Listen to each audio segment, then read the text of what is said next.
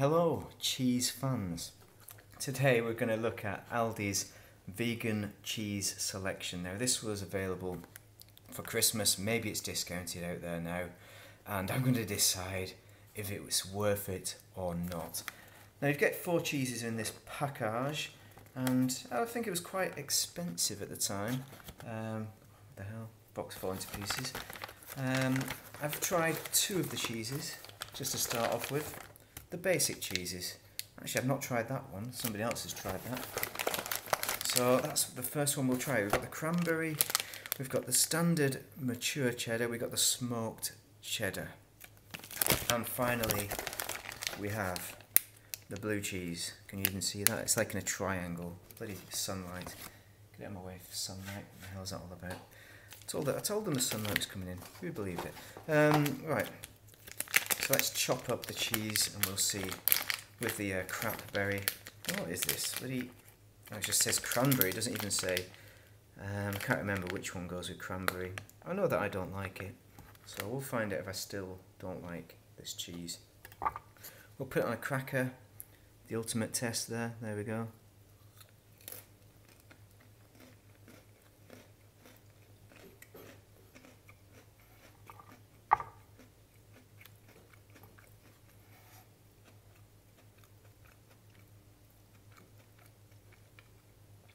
Well, you know, it's it's a Wensleydale type cheese with um, cranberry.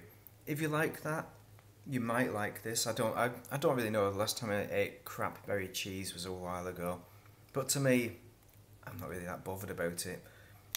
A fav favourably two and a half out of five. Let's try the blue cheese. Now this is my favourite. No, blue cheeses. Is this going to be my favourite? Quite difficult to get into. I recommend a pair of snippers to sort that out. Alright. For this one, I'm just going to try the cheese by itself because I'm quite the connoisseur. There we go. Lovely.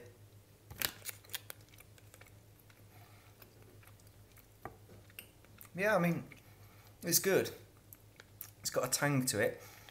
This tastes exactly like the cheese that Tesco introduced and then Morrison's introduced, and then they both in turn took it out of production. So I'm, it's probably the same producer. I mean, they taste on the same kind of level of all of the cheeses that have been already out in Tesco and Morrison's and elsewhere, just the standard cheese. Now, this is a Christmas party pack. So, on a level of party pack cheeses, I'd expect something of a higher standard. We're not talking about honestly brie, the finest vegan brie you'll ever find 5 out of 5 experience. You know, we don't need to go that high for Aldi's. But Aldi have a reputation of copying cheeses, you know, and um, producing some pretty high quality stuff. And this, to me, being Christmas and with the price it is, indicates it's of that higher standard but it's bog standard really. I mean that's blue cheese. It is good. If that was a cheap cheese, as in if, if it was like like two quid like it was when it first started off, two twenty five I think it was, um, then it would easily be. Well, this one tastes doesn't taste quite as good. Maybe it's my mind's changed, but three and a half, but four out of five experience. I'd call it a four out of five experience by itself. Cranberry, two and a half out of five. I mean, we can try the smoked cheese. Let's try the smoked and the mature cheddar. I'm not even going to try them on crackers. I'm not going to waste crackers on these things. This is the mature cheddar.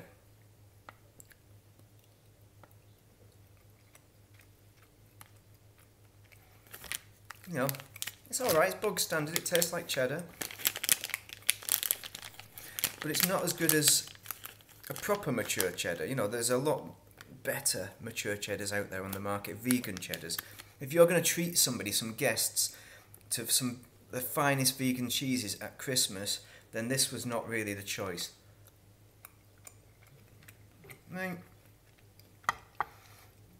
The smoked cheddar, yes, it comes in a circular shape, but it's still a kind of cheap end, kind of um, vegan cheddar. Both of them, I think, probably two and a half out of five experiences.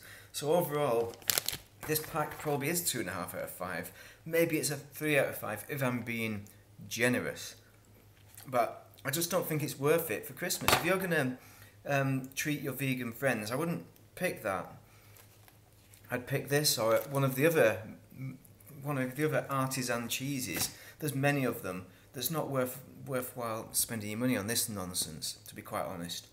Um, so three out of five. That's as good as I'm going to get. Assuming it's on discount, I'd probably buy it. But if the discount means it's the same price as your bog standard cheese, then just buy your your favourite bog standard cheese, vegan cheese, and you'll be happy. Anyway, that's it. You know, I ain't got a lot positive to say about that selection. Blue cheese is the only one that's worthwhile for me out of that whole pack.